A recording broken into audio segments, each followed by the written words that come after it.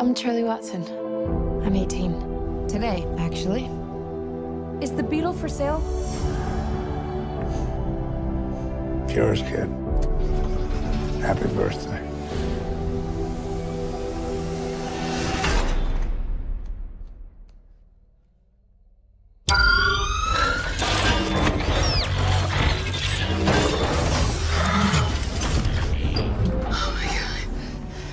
Are you? So you have no idea where he came from? No idea. Well, Here's the deal. People can be terrible about things they don't understand. From now on, the only person you can show yourself around is me. Oh, I'm I'm good.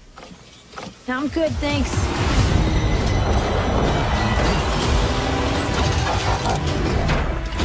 There's a war raging on our planet. If this criminal isn't found, that war may find its way here. Is there anyone that can help you? Do you have a family? Oh, who but me?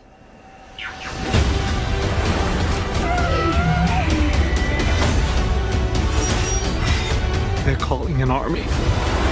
I've seen firsthand these things really are.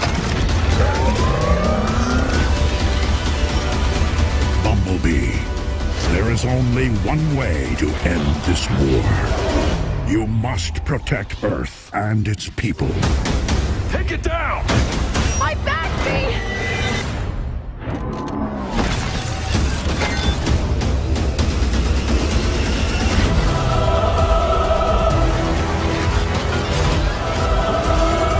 This is how we stop them. You've got me.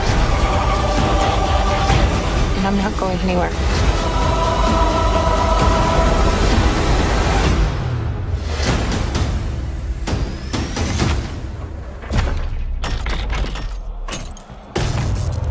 God, I'm so screwed.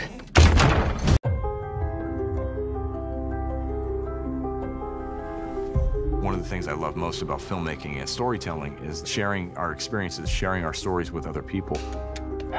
It's a way of connecting with people. Travis started a business that was very successful. Laika is a cutting-edge stop-motion animation company. Obviously, with Travis' background in animation, he has an incredible sense of being able to see a drawing on the page brought to life. At Laika, we try to find an artful balance of darkness and light and intensity and warmth and humor and heart. The idea of being able to bring that kind of philosophy to Bumblebee was really exciting.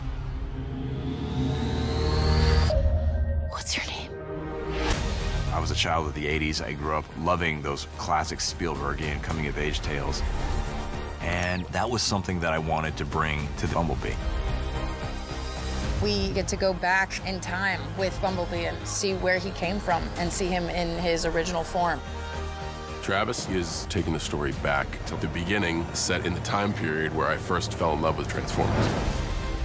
To take this big, expansive franchise and to focus in on a corner of that canvas, we really get to understand who Bumblebee is and why people love him. This is why you're here, B.